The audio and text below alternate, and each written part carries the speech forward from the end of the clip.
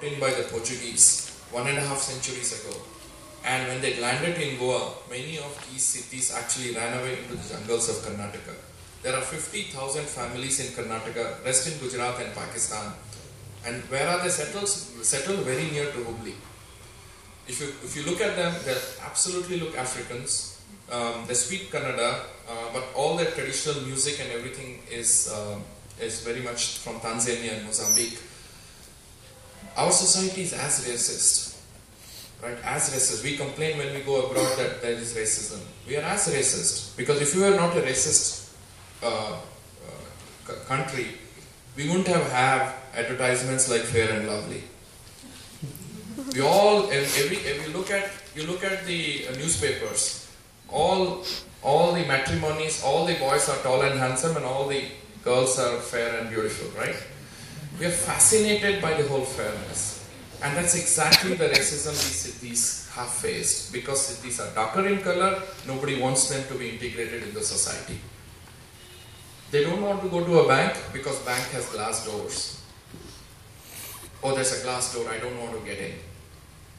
That's how marginalized our society is in many ways. So, so we basically picked up the Siddis and said, we went to the bank and said, uh, why don't you provide these people loans? They said, obviously they have, they have nothing in the house, how do you expect us to give a loan? And then we put up a guarantee. We put up a guarantee against these Siddis and then the Siddis got home lighting systems. But when after six months, when we asked the bank, or asked the Siddis, are you happy with the solar light? Do you know what they said? We're very happy with the solar light, but more importantly, we have a bank loan. After our solar loan is done, we will go and take a loan for a sewing machine that means they have become bankable. And that's the whole beauty of, of providing sustainable energy to the poor, that if they had grid electricity, they would never have had the bank loan. So technologies like solar, technologies like biogas, technologies like biomass, technologies like pico-hydro are decentralized and that's what our country needs because our country is vast from, from, from, from the Seven Sisters in the northeast to Gujarat and from Kashmir to Kanyakumari, you have a vast array of decentralized energy from biogas, small wind, biomass, solar, uh, uh, everything, a pico hydro, the ones that you look at the streams. So that's the advantage this country has of in terms of sustainable energy. And we can be definitely leaders in the world. And leaders because we are, a, as we keep saying, we are a paradox between a developed country and an underdeveloped country, right? We are a par paradox. You go to Orissa, you go to Bihar. You know, as a country, our human development index on, on, on how you rated in terms of quality of life, we are lower than Vietnam. We are lower than Sri Lanka in HDI. Parts of our country is lower than Chad. Orissa, Jharkhand are lower than Sudan. When you hear about Sudan, where there's no, no government, the human development index is much better than parts of Orissa and parts of Bihar. You know, according to the World Bank statistics, it's easier to open and run a com company in the terrorist affected parts of Pakistan and Afghanistan than in India. Why all this happening? Because you and me have not taken up the challenge of being leaders. We all are good in making excuses. Government karegi. Government will do it. Will the government, I mean, somebody else, we all know how to criticize, but have we put ourselves in the spot? And like, like for example, the garbage in Bangalore, right? We all complain that the government has not, has done its job. But who has thrown that garbage in the first place? Lane driving. The government has mandated lane driving. How many of us follow lane driving? In front of hospitals, we are not supposed to put horn.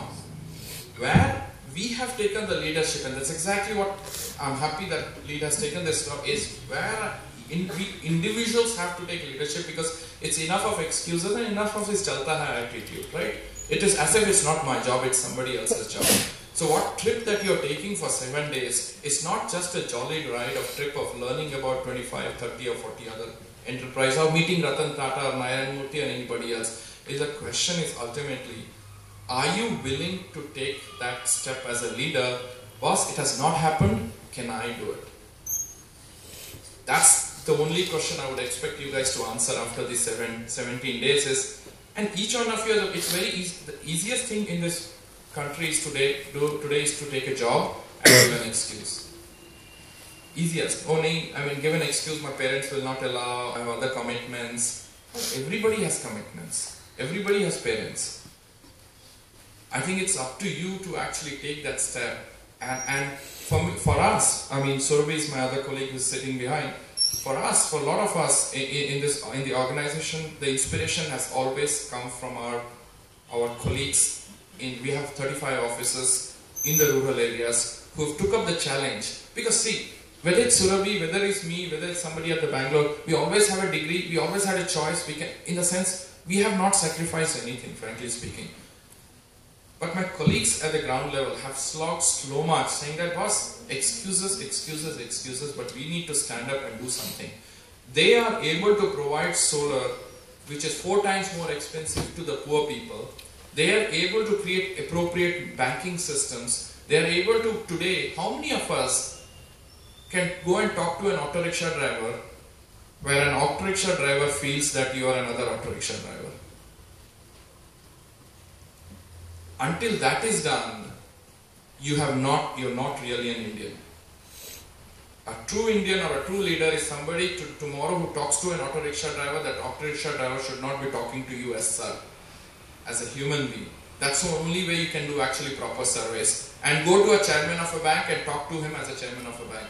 How many of us can actually do the whole spread of, of that? And that's what leadership is, and that's what the colleagues in, my, in the rural areas are able to do. Today they can talk to a poor person, tomorrow they can actually talk to a chairman of a bank without fear and talk sense in both sides. And how, that's exactly what I mean by leadership is are you able to break that barriers? And that's the only way you can actually create a very good organization where everybody in the organization looks at hierarchy just as a position but is able to open up freely and, and any leader should be open up to criticism. You should be told in the office, in front, how many of you can actually be standing here and rest of you can criticize him. And that person is able to take that criticism. That is what we are. We have become, we as a country is also become of egos. कि उसने मेरे को ऐसा बोल दिया है. I think you need to shut up. And that's exactly what we have learned from the rural is that egos, the lack of egos, the lack of being own, own, open, open source, and also about how everybody's opinion is equally valuable. Today we are fascinated with resumes. Boss uska wo degree hai wahan se. Farmer who has spent 35 years doing sugar cane, if I go and do a PhD on sugar cane, I'm, I'm then called an expert on sugar cane. A farmer who has been doing for 35 years of sugar cane never will be called an expert on sugar cane. Well, I have this piece of paper that tells that I have done my degree on sugarcane. But that poor fellow has 35 years of sugarcane, will never be called an expert. That's because of our mentality of how we do it. And that's exactly what I would expect you guys to remove. I mean, I keep telling uh, this one example before I end it uh, is, you know, when you go out, you look at a street vendor, right? How many of you know a street vendor's business? How does a street vendor do business? Many of us cannot do the business that a street vendor does. We all go and bargain with her, right? Shamelessly. But can we step into our shoes? I tell you, as a business, financial business, even she, you know, Bangalore, she gets up at 3.30 in the morning, 4 o'clock she goes to Koramangala, she takes money at 8, 10% on a daily basis you know what it means to take money at 10% on a daily basis? That's equivalent to 3,650% rate of interest. She takes 1000 rupees in the morning, the guy takes 100 rupees back. That is, she has nine, that is the interest. She has 900 rupees. She buys vegetables. Then she goes around the city of Bangalore selling those vegetables, right? At 8 o'clock in the evening, she has to decide which vegetable pricing she has to change because she has uh, brinjals, she has uh, uh, baigan, uh, sorry, uh, potatoes, etc., etc., tomatoes. She has no refrigerator at home, so she has to decide which vegetable pricing she has to actually change. So she can actually keep it in the night and something that is sold. At the end of the evening, at 10 o'clock, She has enough money to give back to the money lender that thousand rupees. She has enough money for her next, next day's working capital and enough money to feed her three kids. And from 2020, ever hear about a street vendor going out of business? Have you ever heard, oh, aaj se nahi aane wali hai because uska dhanda chala hai or she has lost her business. Go and learn from that. The, if she does not have an MBA,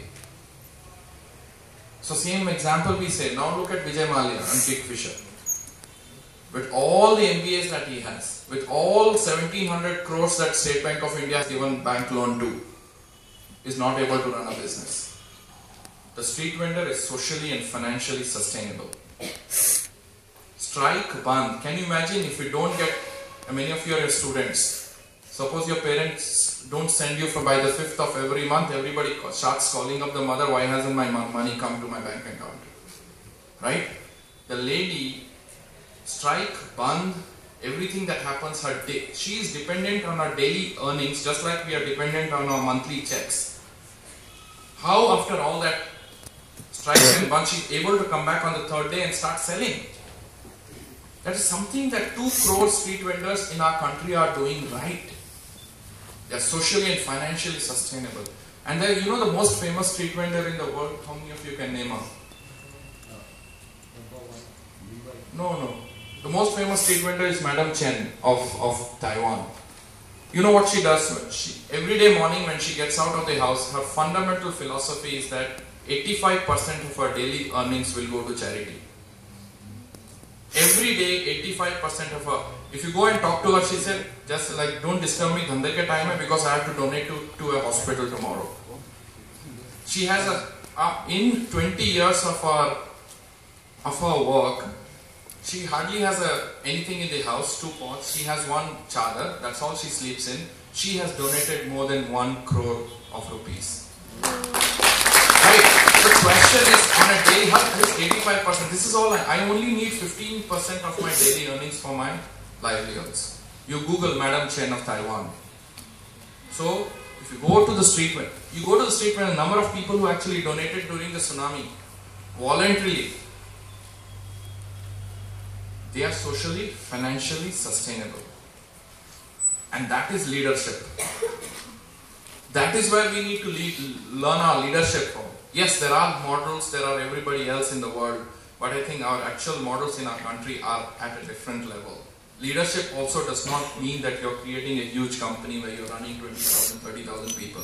Leadership is also about what are you doing for the society in a, in a manner which is sustainable. It just does not mean just you have created like Reliance or anything. That I wouldn't consider that a leadership. I consider every every every street vendor as a leader with such a hard conditions that she's able to show that she's able to do business which is financially and socially sustainable.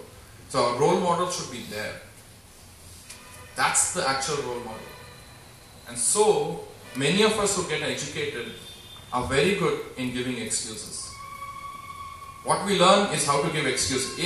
अगर ये होता तो मैं करता और मैं क्यों नहीं because ये हो गया because I couldn't do it because these were the ABCD we all know how to write ABCD of how we couldn't do it and all की नहीं I mean just like uh, uh, when last year we were giving some of the lectures in schools a lot of the boys would come and say uh, sir uh, uh, my parents say that uh, अगर मैं SELCO join करूँ तक because it's a social enterprise मेरे को parents are telling लड़की नहीं मिलेगी शादी के लिए That's you're not a social entrepreneur. You have to be a social entrepreneur. You want to find a girl. It's an excuse, and and I, I I think that's that's purely that. Do you have the will to jump into the well to find out how the deep the well is? At the age that you are in, I would always say don't read too much. And as somebody, uh, this is the best word I, uh, I was telling my colleague. I learned a couple of days ago in a conference that this is a TGIF um, youth. You know what TGIF is? No, it's like Twitter, Google, Internet, and Facebook. Right? That's the because everything you go, everything when you have a problem, you Google it and say whether I can actually look at. But Google is not giving, going to give you solve the problems for you. Twitter is not going to solve the problems, nor Facebook is going to solve the problems. The best, I keep saying, the best advantage I had over you guys is during my, when I started in 91, 92, I had no internet. And so you are forced to go into the field to learn. I had a bunch of people who are great friends, who are very old right now, who are 90, 91, who actually taught me what sustainability was. And I keep telling John, when I just sent an email to John, who, who just to find out whether he was alive or not, then he wrote me back an email and he said, I'm writing a book on my experiences in World War II. He's 91, who actually has, who knows more about India than many of us in this room. At this age, yes, this, this uh, lead is very good, but you need to travel. You need to travel between, for example, Dhanbad and Patna in an unreserved compartment, whether you're a boy or a girl. Travel in an unreserved compartment between Dhanbad and Patna in a train called Diamond Queen. You will know real India. And this is the time when you don't have money, you don't have much responsibilities, travel, travel this country. And that's, with, you might have a lot of ideas, but this is the time to travel and know what this country is and then you can actually create a good leadership. Because when you build an organization in the future, nobody in the organization should challenge you that you cannot do this. You should be, a, if you're, nobody can actually, okay, you, are, you should have worked as a technician, as an office assistant, as a branch manager, as an area manager, as a finance person. Everything. Nobody should be able to challenge you. If anybody comes and challenges you, this is how the siddhis are, you should be able to say that, yes, I have actually seen it. Not that I have read a case study on the siddhis. Have you, about the poor Kalahandi in, in Orissa, I should have actually seen it. This is a time to travel, and that's the only way actually you become a leader. I hope all of you should become the leaders rather than giving excuses because uh, that's the only way you can actually contribute to this country in a very positive way is look at what the street vendor is able to contribute. And you're all, many of, somebody said many of you are engineers, right? Yes, Have you ever seen a pani puri vendor going down a hill? What does she do when she goes when she's taking her cart down the hill? What does she do? She comes from front. Front. But she's doing one more thing with her left or right hand.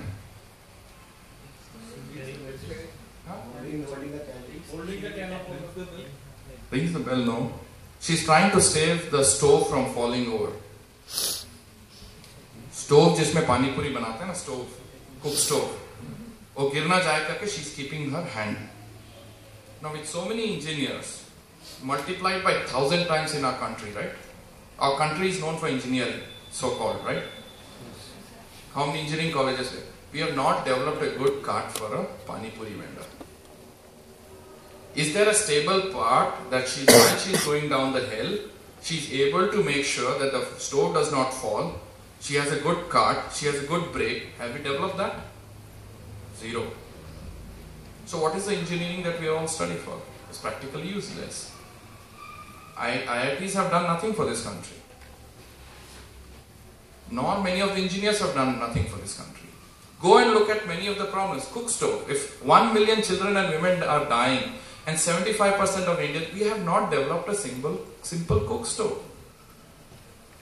So what have the engineers, engineering colleges in our country developed them. That is where I would ask you, plead you, and request you look at the problems of this country, create an appropriate solution. What are the MBAs done in this country? MBAs have not created good leaders. The leaders, or many of the leaders you see in the ground level do not have an MBAs. So I think you guys have to change that paradigm that such challenges don't come to you. If, if you know, there's only Karnataka is so-called a very developed state compared to rest of the. You look at Odisha. You know, there's only one district in this state that does not have fluoride in the water. Only one district in this in this state does not have fluoride. So, what have the engineers and MBAs done for this country? What are the engineers and MBAs done for this country when half this population does not have electricity? you guys need to show because the generation before us have have and generation like ours have failed in many cases. Yes, but I, would be more hopeful for the generation of yours that can actually show the leadership. And leadership does not mean making millions of dollars or anything else, or building thousands of a company that has 10,000 employees or 100,000 employees. The leadership is about solving the basic problems of this country. I'll open up um, to questions. Uh, Ajay, if that is fine. Bolo frankly. Uh, so, as I told you, people like will have very interactive and open session. So, as of now, actually, whatever you knew, uh, I have in between told some of the you people actually about SELCO and whatever listening to Dr. Harish actually. Uh, whatever questions you have, open, please. Sir, I have an idea like uh, connecting the